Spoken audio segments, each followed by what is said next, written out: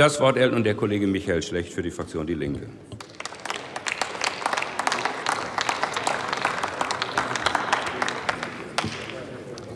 Herr Präsident, sehr geehrte Damen und Herren!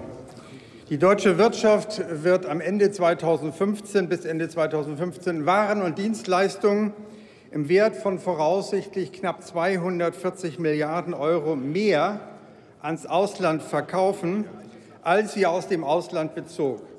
Seit dem Jahr 2000 summieren sich diese deutschen Exportüberschüsse bis Ende dieses Jahres dann auf mehr als zwei Billionen Euro. Möglich ist das natürlich nur, weil gleichzeitig Deutschland diese zwei Milliarden Euro, diese 2000 Milliarden Euro äh, dem Ausland leiht. Das äh, äh, Ausland verschuldet sich immer mehr bei uns. Wie nachhaltig ist das gar nicht? Das ist überhaupt nicht nachhaltig.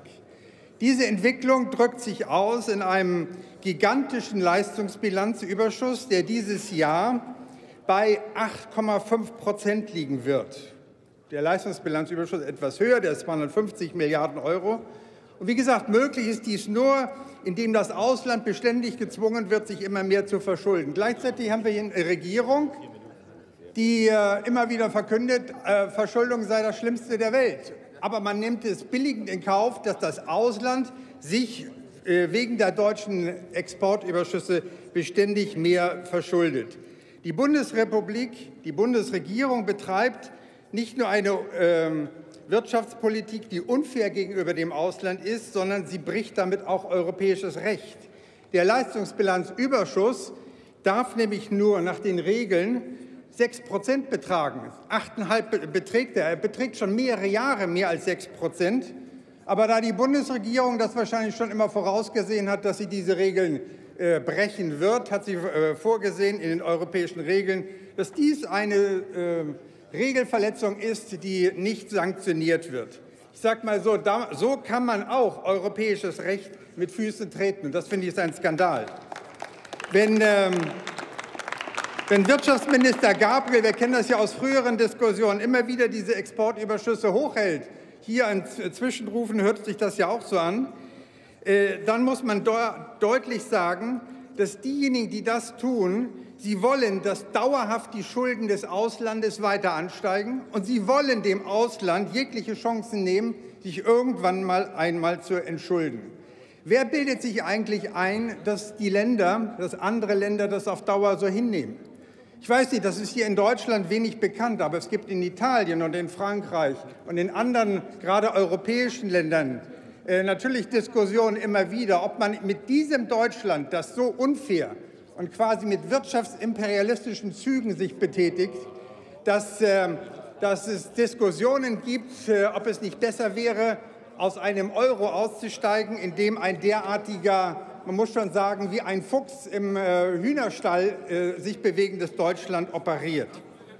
Was wir brauchen, was wir brauchen, ist, ähm, wir brauchen eine Umkehr in der Wirtschaftspolitik und wir müssen endlich auch in Deutschland Defizite im Außenhandel machen, um die Verschuldung des Auslands ab, äh, zu helfen, dass die abgebaut wird und damit die internationalen Ungleichgewichte abgebaut werden.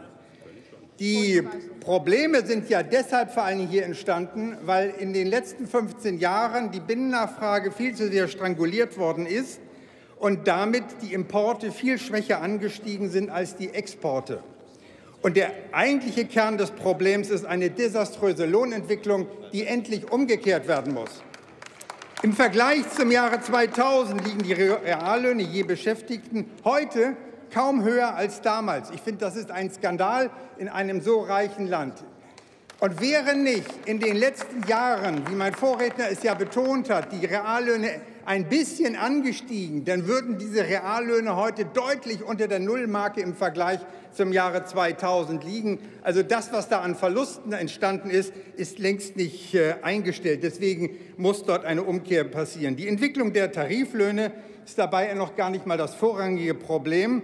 Obgleich mit Leiharbeit, Befristung, Werkverträgen den Gewerkschaften dicke Knüppel zwischen die Beine geworfen wurden. Und in der Folge waren die viele Tarifabschlüsse auch nicht besonders berauschend. Nein, das eigentliche Problem ist, dass durch die Politik der letzten 15 Jahre die Tarifbindung immer mehr zerbröselt ist. Heute arbeiten nur noch 50 Prozent der Beschäftigten unter dem Schutz eines Flächentarifvertrages. Und das in so einem Land wie Deutschland. Das ist doch ein Skandal.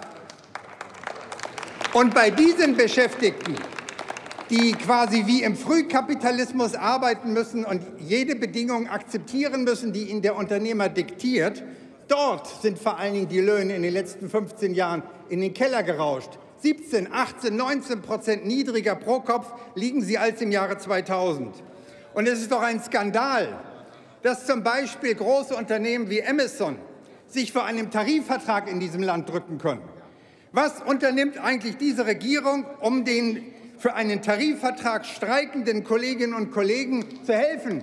Nichts. Das ist auch ein Skandal in diesem Lande. Es kann doch nicht angehen, dass solche Unternehmen walten und schalten können mit den Beschäftigten, wie sie wollen. Es gab ja sogar einen Kanzler, der war stolz darauf, dass er in Deutschland eine Politik gemacht hat, die zu diesem äh, Niedriglohn äh, führte. Ich finde, das ist wirklich schon peinlich. Die Lösung dieser Entwicklung ist doch eigentlich ganz einfach. Wir brauchen eine Umkehr in, der, in den Rahmenbedingungen am Arbeitsmarkt. Wir brauchen ein Verbot der Leiharbeit, der sachgrundlosen Befristungen. Wir brauchen endlich auch ein Vetorecht des Betriebsrates bei äh, Werkverträgen und auch bei Outsourcing-Strategien der Unternehmen. Das wäre notwendig, um unser Land wieder voranzubringen. Und äh, ich sage Ihnen noch mal eins. Diese, Außenhandels, ein Satz noch, diese Außenhandelsungleichgewichte, das ist nichts äh, technisches, spielerisches, sondern das ist äh, eine Gefahr, gerade auch für die internationale äh, friedliche Zusammenarbeit. Und wenn ich mehr Zeit hätte, könnte ich Ihnen noch ausführen, inwieweit dies auch mit Ra negative Rahmenbedingungen setzt für viele Dinge, die uns heute hier in diesem Lande im Hinblick auf internationale äh, kriegerische Auseinandersetzungen bedrohen. Dankeschön. Michael Fuchs ist der nächste Redner für die CDU-CSU-Fraktion.